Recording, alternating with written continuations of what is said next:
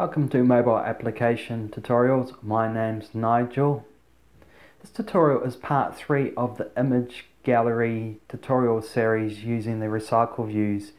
In part 1 we learned how to pull down the environment by using Git to our Android Studio. In part 2 we learned how to create a folder to house all our images for the image gallery.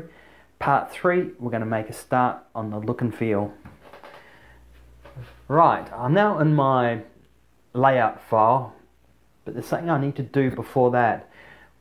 Currently with this version of Android Studio, 1.2.2 I believe, we don't yet have support for the recycle view. So we need to add that as a dependency to our project. So I'm just going to skip across to my browser and inside the Android developer website under list cards. They provide us the dependency line to add to our Gradle build file. So just copy that. Go back into Android Studio.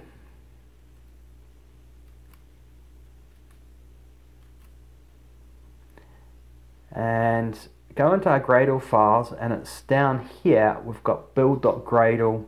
It's the module app. So select that and go down to dependencies. We're adding a dependency here and paste it in here and save that. Okay, once you've done that, any changes you make to a, a Gradle build file will need to be resynced with the Gradle servers. So we'll sync that now. Select this button here, sync project with Gradle files.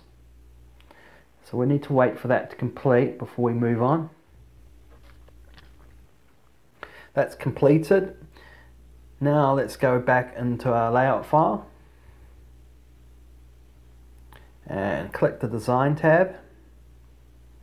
Okay, we, we're not going to have a single image on our application anymore. We want to replace the single image view with a scrollable image gallery so we can delete our image view.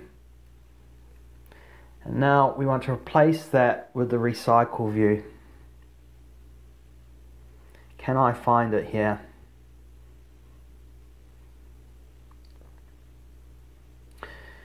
I can't see it here. You might, I can't. So let's go into text and let's add it manually. Naming convention is slightly a bit different. It's Android support V7 widget recycle view. So you're just going into recycle view by itself. You have to enter this full name here. And again with all views we need the layout width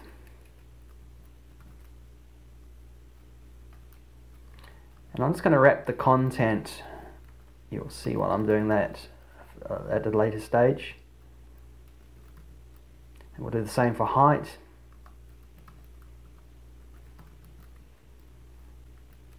And because this is a relative layout, I want the actual recycle view container to be on top of the camera capture button.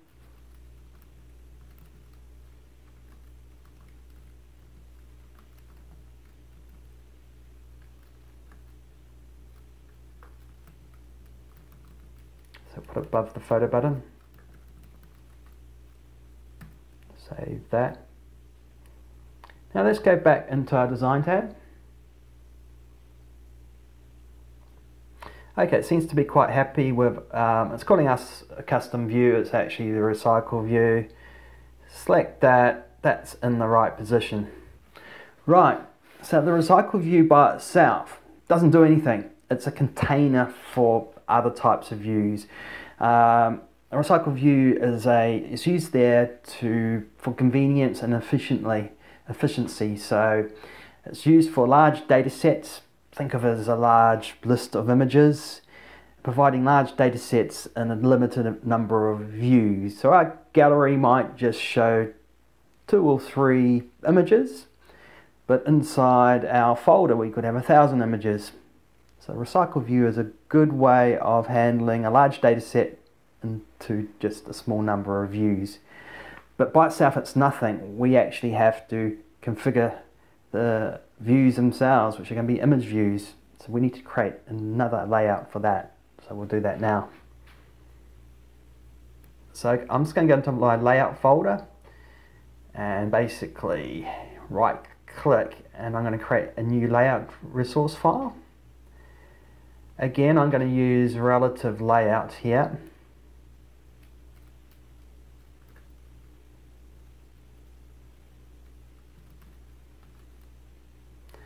And the file name, I'm going to say the um, gallery images.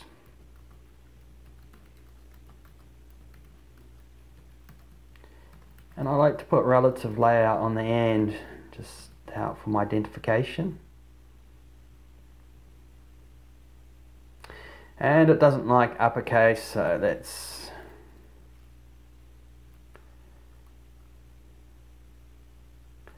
use underscores in the file naming convention.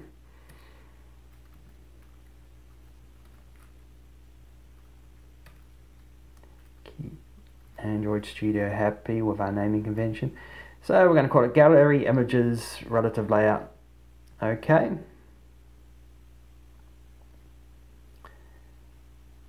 So here, now we'll select our relative layout here. So we've got our relative layouts. So inside here, what am I displaying? What am I making here? I'm just making a scrollable image gallery. So all I need to add here is an image view, which will be then, it'll be communicating, it'll fit into the recycle view framework. So, hey, why don't we go to the design tab? They will have image views here, which I should be able to find.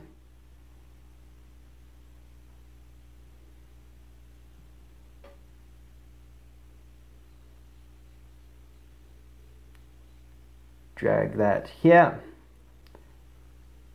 Okay. Okay, I'm actually going to specify the size, my thumbnail size of my width and the height for my image views in here.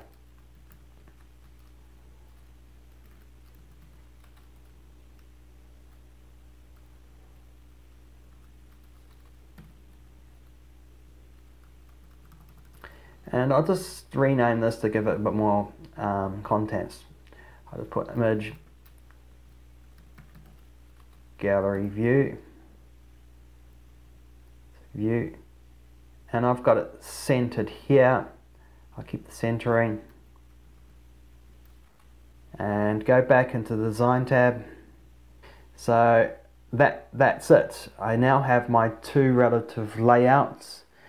Um, you can't actually visualize um, using Android Studio what the actual gallery is going to look like at the moment. The, uh, the tool won't support that, but we've now got that set up. So at this stage, we're going to conclude the tutorial. Our look and feel basically completed. The follow-on part four is we're going to dive into our adapter, a, recycler view adapter which is where we're going to be sort of implementing the loading of our views and uh, loading of our image views, images, and assigning them to an image view. So watch out for that. So if you enjoy these tutorials, don't forget to subscribe. And that's all for this one. Bye for now.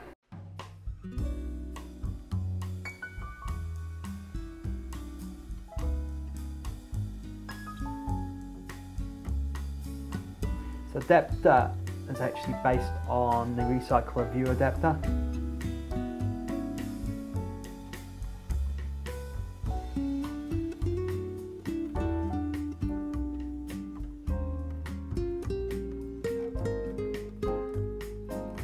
We pass in our view holder.